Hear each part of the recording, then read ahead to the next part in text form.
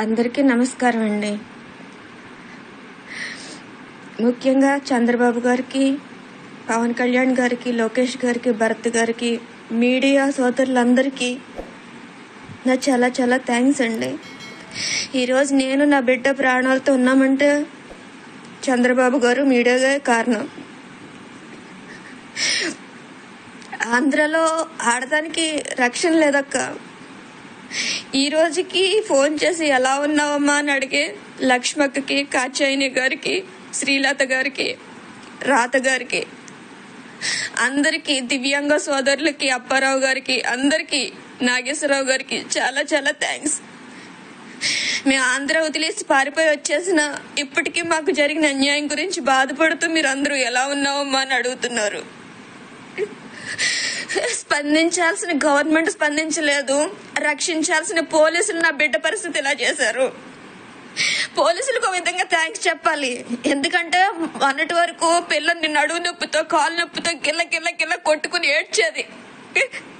పోలీసులు కొట్టిన దెబ్బలకి ఈడ్చేసిన దానికి దెబ్బకి వెన్నుపోసి అంత స్పరిసిపోయింది ఒక దివ్యాంగురాలికి ఆంధ్రప్రదేశ్లో జరిగిన ఘనకార్యం ఇది. ఒక బిడ్డకి న్యాయం అడిగాను అనేసి నన్ను పిచ్చిదాన్ని చేశారు.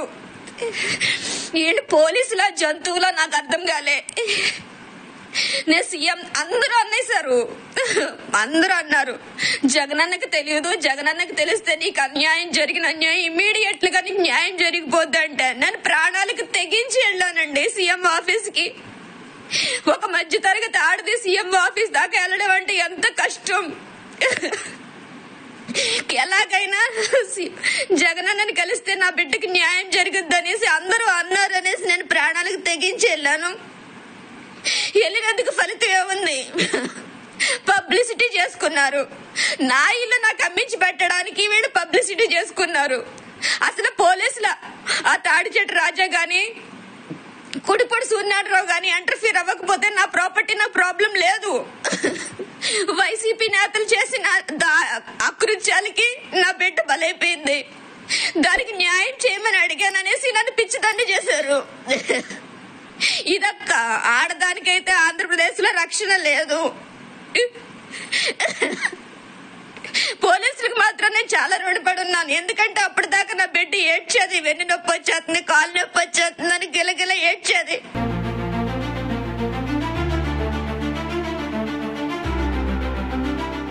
Like share and subscribe to Rajneeti channel